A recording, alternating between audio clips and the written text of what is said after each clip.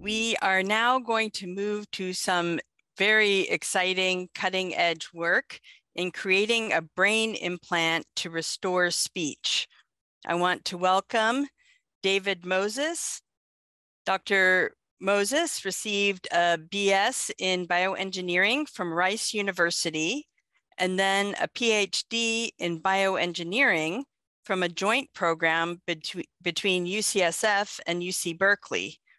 As a postdoctoral scholar in Dr. Chang's lab, he manages and coordinates projects for an early feasibility clinical trial at UCSF to evaluate the potential of electrocorticography and machine learning to restore speech to patients with severe paralysis.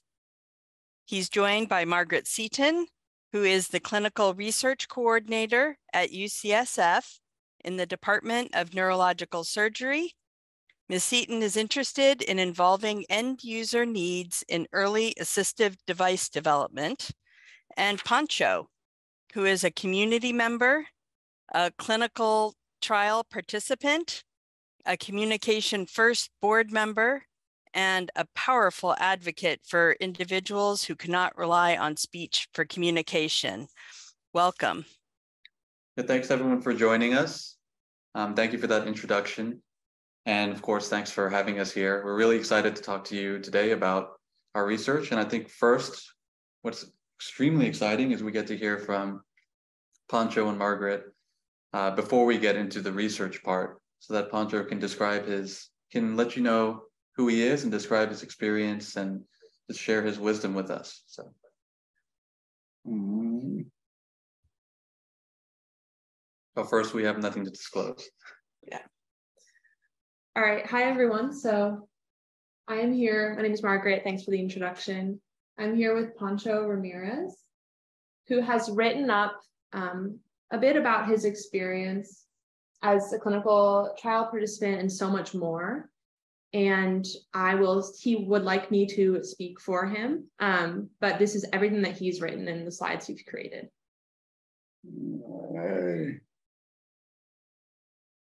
All right. So hi, my name is Pancho Ramirez. I'm a 40, I'm 40 years old and live in Sonoma, California. It is a pleasure to have the opportunity to present before you all today. I have no experience giving presentations, so if there's anything that doesn't make sense or is out of place, I apologize beforehand. I have to get someone to read my text and speak for me. I have a speech generating device, but it sounds terrible. I don't like it to be my voice, so I asked my friend Margaret to read it for me. Today, I would like to talk about three different things that happened in my life, how I overcame them, and make the best of them. I hope I won't bore any, too, any of you too much. If so, I'm sorry. It wasn't planned. So over 20 years ago, I was able to walk, talk, work, and provide for myself. I was a healthy, happy young man, full of dreams and with so much to look forward to. Unfortunately, fate had other plans waiting, and my life was about to go in an unexpected direction. In the month of June 2003, I suffered a car accident that led to a brainstem stroke, leaving me paralyzed and unable to speak. I've been in nursing homes and hospitals in Northern California ever since.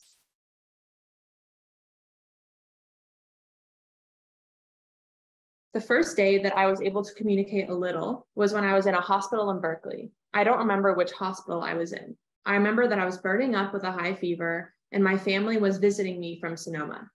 I was desperate, trying to communicate something to my family, but I was not able to. I had a UTI infection that was spreading through my whole body very quickly, and I was very weak. Not, nevertheless, because I couldn't stay still, my sister told me we are going to understand whatever you are trying to tell us, somehow or another. My brother. She grabbed a piece of paper, wrote down the entire alphabet, used a pen, and pointed to each of the letters accordingly. I nodded yes or no whenever she pointed to the right character, and then I wrote it down. She wrote it down. Then around November 2003, I moved to the Healdsburg Hospital. There was a brilliant young man there. He was very nice and compassionate towards people like me, someone who was unable to help himself and communicate. He brought a laser light, attached it to a baseball cap, mm-hmm. and posted a letter board with an alphabet on the wall in front of me. Whenever I wanted to communicate something to the nurse or someone else, I just asked for the cap, pointed to the alphabet board on the wall, and they wrote everything down. I did not know any English yet, so it was only Spanish. As time went by, they bought a laptop and a baseball cap with a stick pointer attached to it for me to use. I believe the purpose was to keep me entertained and to communicate better. I was delighted. Even though I did not know how to use a computer before, it was a new thing for me. It took me a long time to get the hang of it and learn all the basics, but I did, more or less. By then, I knew a bit of English and I could write on the computer's Word document, whatever I needed to tell the nurses and other staff. I used this way to communicate and operate a computer for 14 years. Now my neck hurts just to think about it. And we'll show you a video later of Pancho using this um, communication device. In June 2020, the researchers from UCSF gave me a head mouse. You can see he's using it in this, this picture here. It's called the Quha Zono. I immediately fell in love with this little gadget. I could do everything so much easier, faster, and more efficiently. I had to be as close as possible to my desk and lean forward so I could reach my keyboard with the baseball cap to hit a letter one by one. And that was with the old method. Suddenly, I didn't have to do that anymore with my new mouse. It enhanced my life and my computer usability tremendously. It comes in two pieces. One is the USB the receiver, it connects to the computer and automatically pairs both devices. The second one, the mouse, could be on your head, your glasses, um, or like in a headband. Then one may use a virtual keyboard that computers have built in, and then you can type or navigate through the internet as you need. The researchers also gave me a laser pointer and a letter board. I can have them in my bag all the time and use them on the go if necessary. And this, that's this picture. Yeah. Oh, I was wondering if you could speak a little bit slower. I think the closed captioning is having a difficult time Oh, yes. Yeah, no, definitely. Okay, sorry about that. No, don't worry. I tend to speak quickly, so. Okay. Go to our next one here. So this is about Pancho's experience living in a nursing home. So in January 2007, I was transferred to a nursing home in Sonoma, California. My family was living there, so they thought it would be better for me to be close to family members. I've been living in this nursing home for 16 years. Although at first it was difficult to get used to living in a skilled nursing facility, I was scared to be surrounded by elderly people only. I felt like I was there because it was my final destination, as sadly it is for some elderly folks.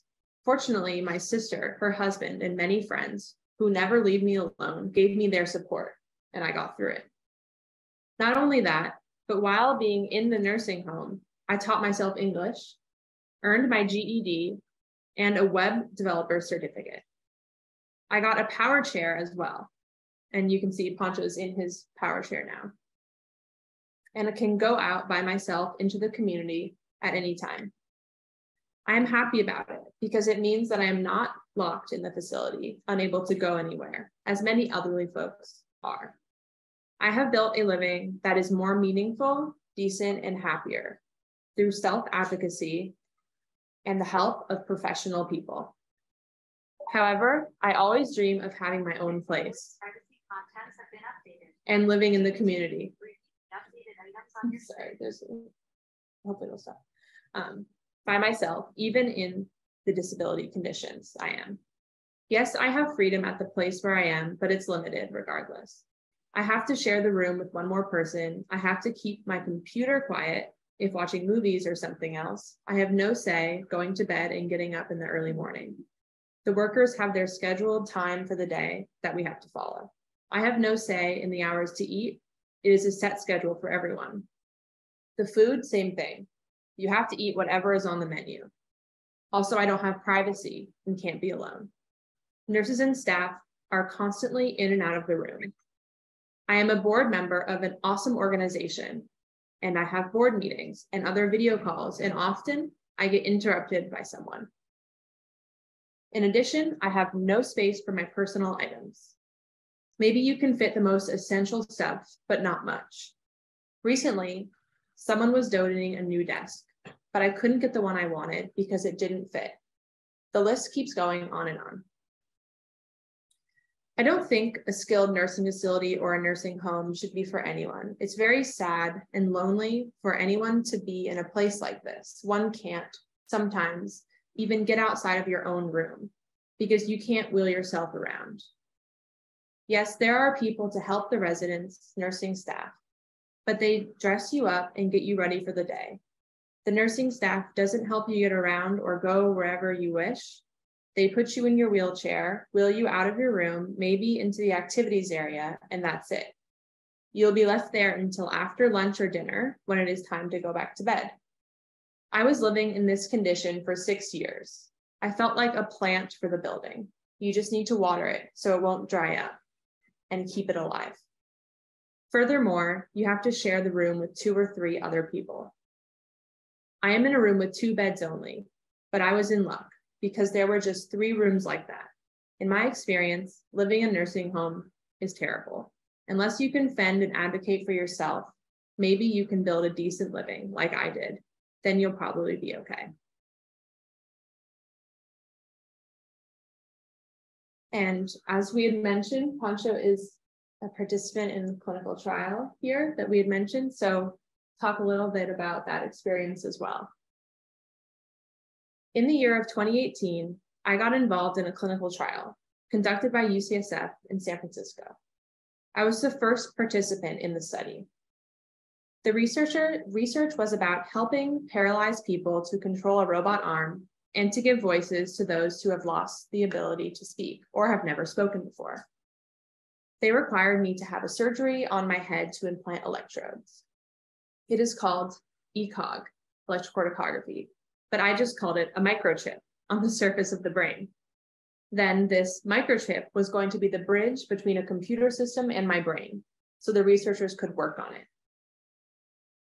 I had the surgery to implant the electrodes in my brain on Monday, February 25th, 2019. It has been over four years now. A long time, isn't it? It feels like it was done yesterday.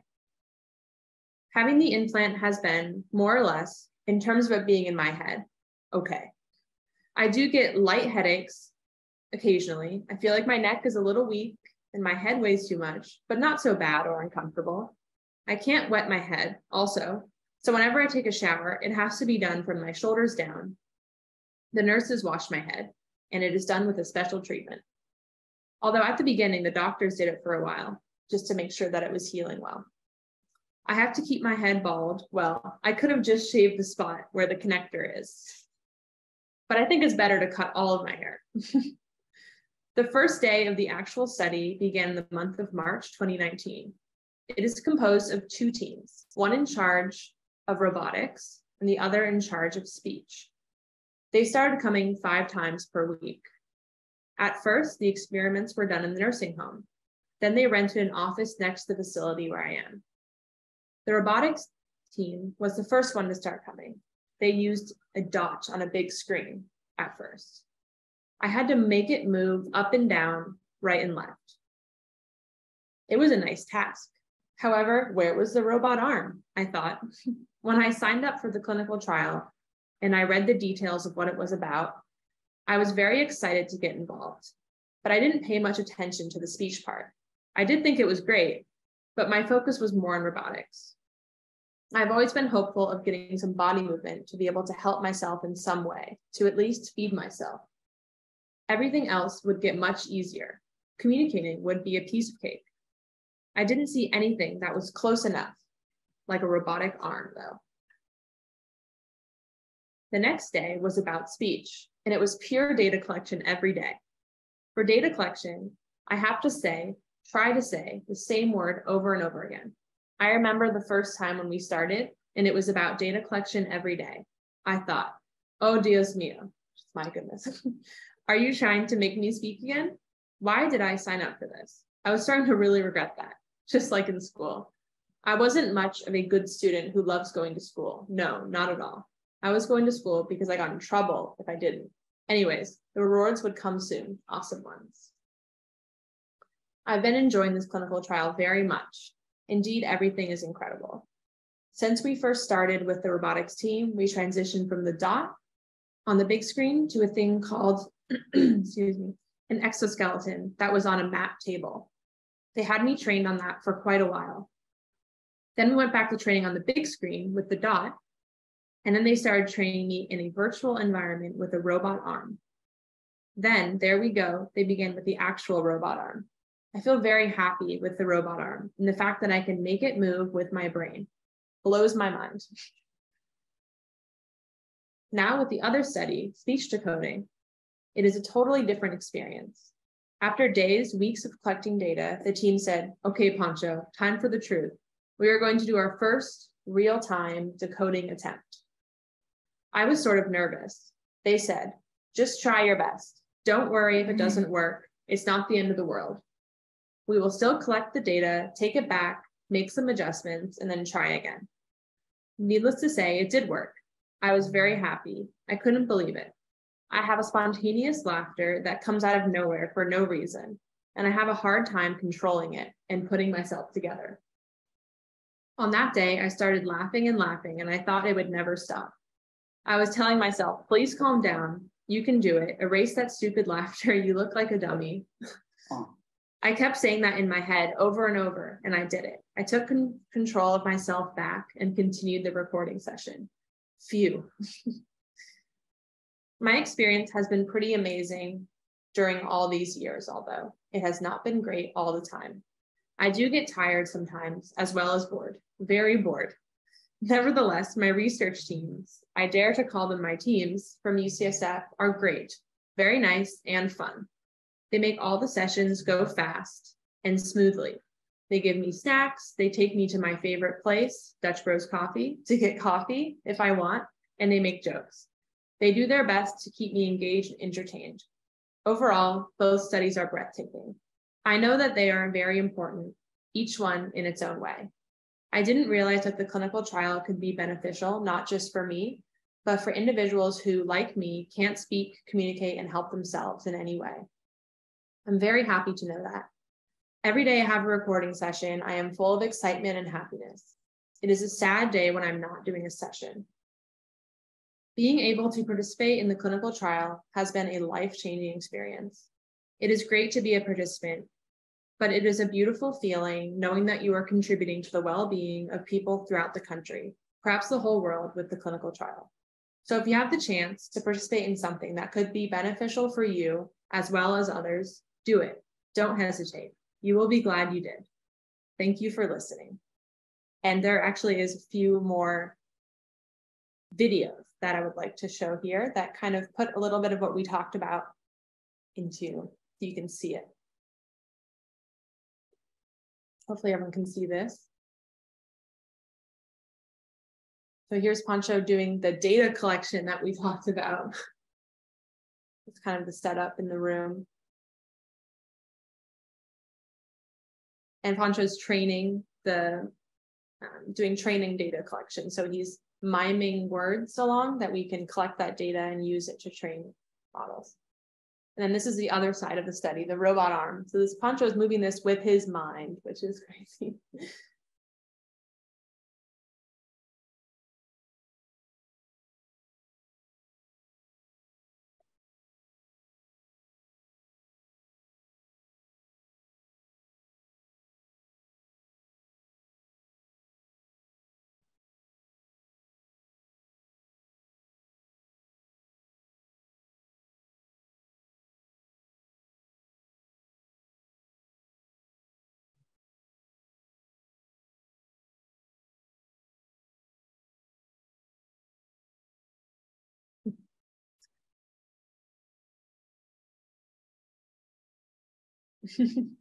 yeah, that's a lot of hard work. and this is about communication methods that Pancho uses um, kind of separately from the trial. So this first part here, this is the hat with the stick on it that Pancho used to communicate with. Get your GED like this. um, this is the one that hurt his neck as you can tell, mm-hmm. could certainly hurt a neck.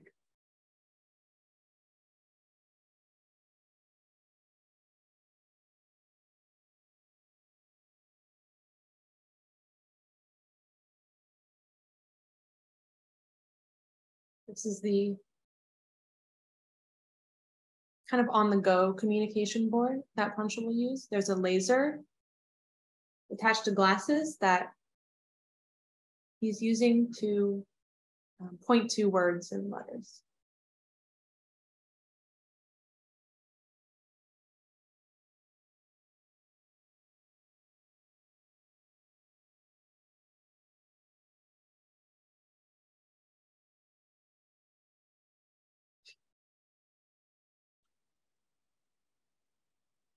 Yeah.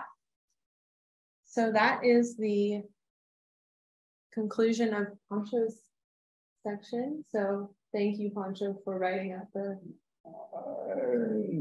really incredible story. Yeah. Thank you. Thanks. Pancho. He says thank you as well for listening.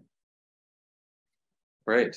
Okay, well, now that you got a glimpse of Pancho's journey, I'm here to tell a little bit more about focusing on the, the research itself and um, we can just go ahead and get started. So you've already seen a little bit about in those videos what can be done with what we refer to as a brain computer interface, which is generally a connection between someone's brain and computers.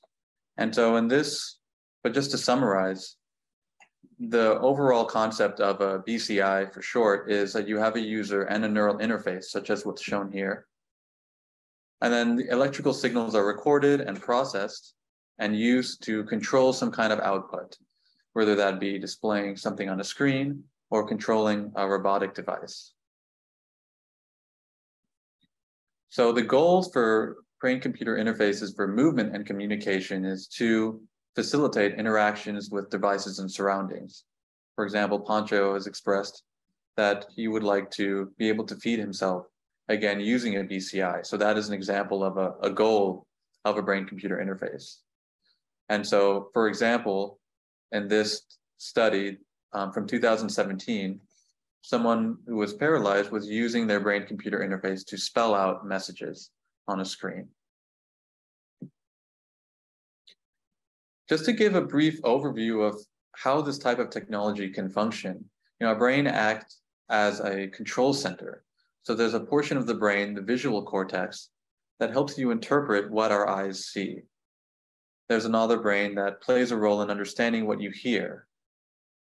And then there's this region that we refer to as the motor cortex that controls, al allows us to control many of our voluntary movements, such as moving your arms, speaking, and so forth.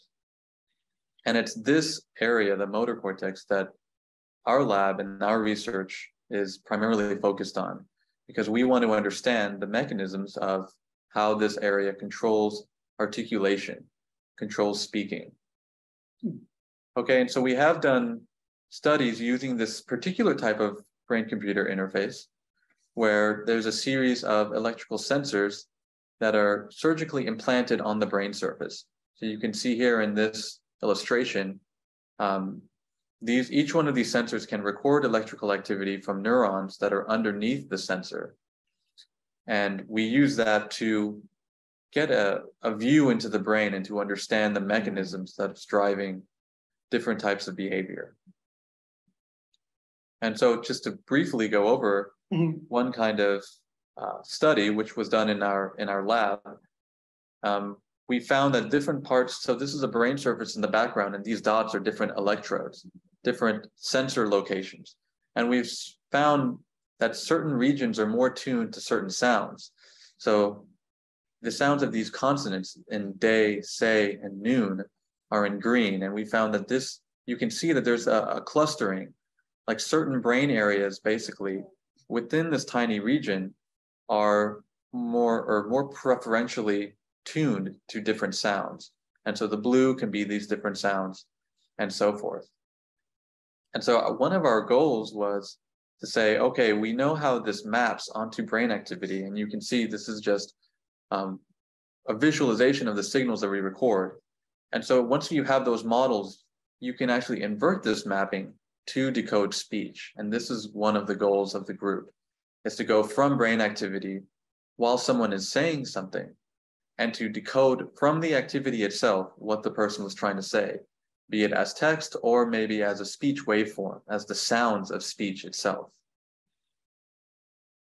So now all of this work that I've shown so far has been in patients who are able to speak, who volunteer for these studies while they're getting um, treatment for epilepsy, actually. But we want to understand for someone like Pancho, who is unable to speak, when they try to speak, do we see similar patterns? And if so, can we actually decode what they're attempting to say from these patterns? Because that would enable us to bypass paralysis and to restore the ability to communicate through speech. And so to this end, we've started the Bravo clinical trial, which is jointly led by Dr. Chang on the speech side and Dr. Ganguly on the motor side, the, for example, the robot arm side. So for our goals, we want to study the brain representations of speech in people who are unable to speak, such as Pancho. We want to understand if our approach is safe and viable for a long-term solution. And then ultimately, we want to create a speech neuroprosthesis, a speech brain-computer interface to help patients communicate again. And so as you already know by now, Pancho has become our first participant, which we're extraordinarily fortunate for and grateful for. And this picture is actually a, an illustration based on the location of the implant in or on the surface of Pancho's brain, covering his uh, motor cortex. Okay. And so we have 128 electrodes. And just to give you an example of what this looks like. So here we're showing raw brain activity that is recorded from our device. And you can see that the dots lighting up are the different activations of the electrode sensors. And this is showing a, a time course of the electrical activity across many channels. And we're capturing a thousand snapshots per second. So it's it's a good amount of data. But as you it may, you know, this is during Pancho's attempts to speak. And so I think it's fairly obvious, at least for any of us looking, that it'd be really hard to figure out by eye what he's trying to say. So this is one of the main challenges is how do we go from this to reconstruct his message? One thing that's needed that's shown here is that Pancho has to say, he has to try to say the words many times for us to get a good understanding of what the signal. So you can see this red line as an average across many repeats of the same word. And you can see at first it's very noisy, but as he says it over and over again, as he tries to say it, and we get more information, we get a better sense of what the average, the typical activity is um, from this sensor. Okay, and I'm gonna kind of go through this a little bit quickly, but this is kind of an overview of the first speech BCI that we developed. And so just to walk you through it, there's, in this example, there's a prompt such as, how are you today? Now, Pancho is trying to respond, and his brain activity is acquired by the implant and is then processed. So just very briefly, what's happening is that the neural signals are processed. Um, it's just some techniques we do to get the signals in a form that we can more easily work with. And then we actually detect when he's trying to speak from the brain activity itself. You know, we don't use a microphone or anything here. We can find certain patterns that are associated with him trying to speak as opposed to him just idling, just resting. And then when we have these uh, events, these speech events, we then pass them through a model that gives us word probabilities from the neural activity. And so right now, this is a 50 word vocabulary in this first implementation. And so we're predicting the likelihood of all these 50 words from the brain activity.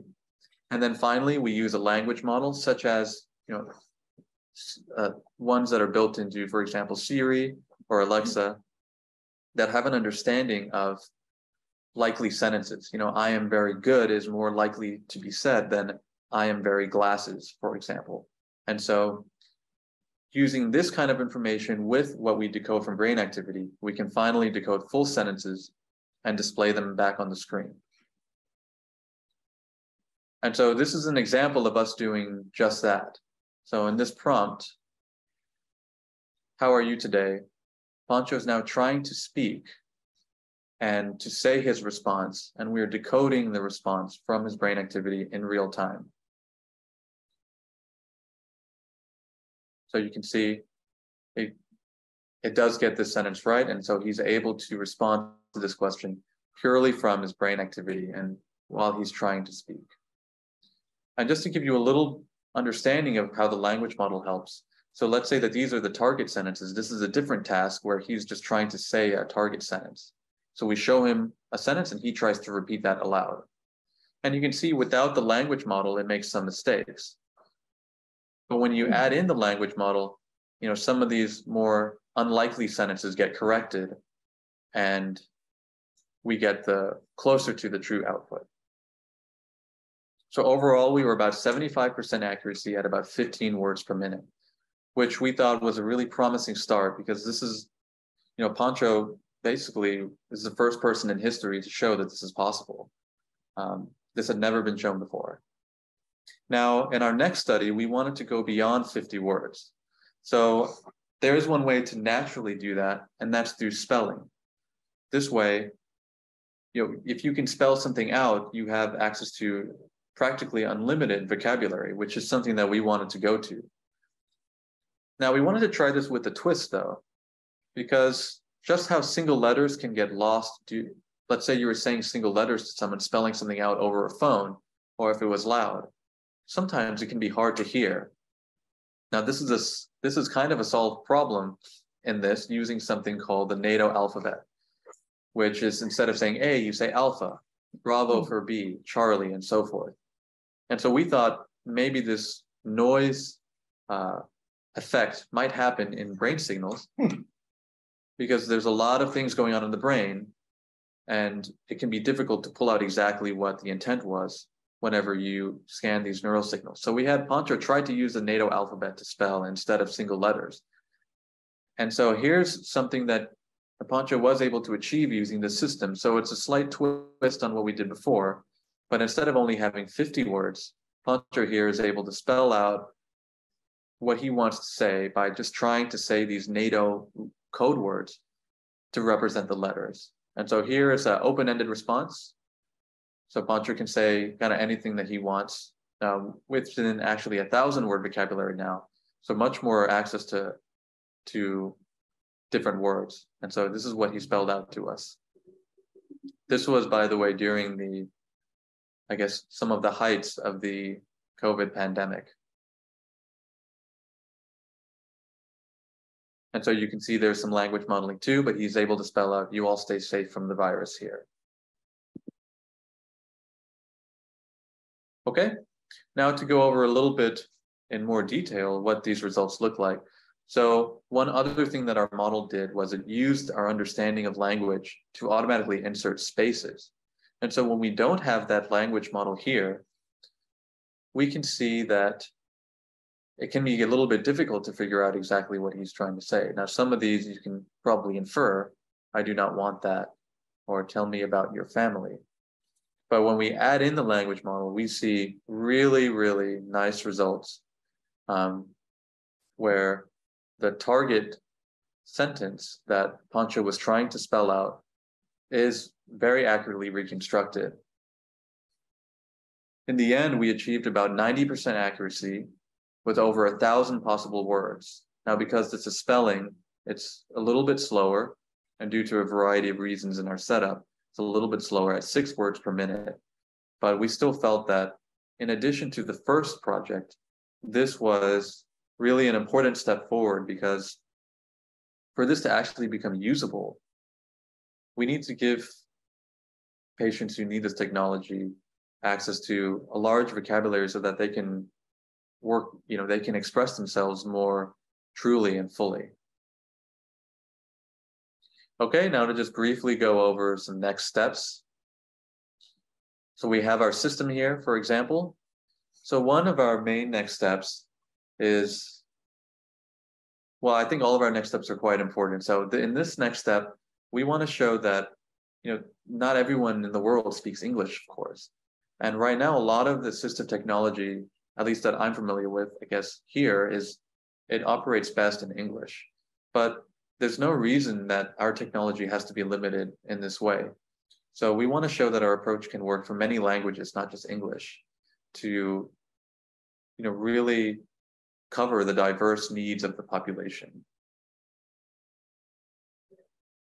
One other thing that we actually, I mentioned briefly before in an earlier slide, we have shown with the uh, epilepsy volunteers who we work with um, over the past decade, and still to this day, we work with them.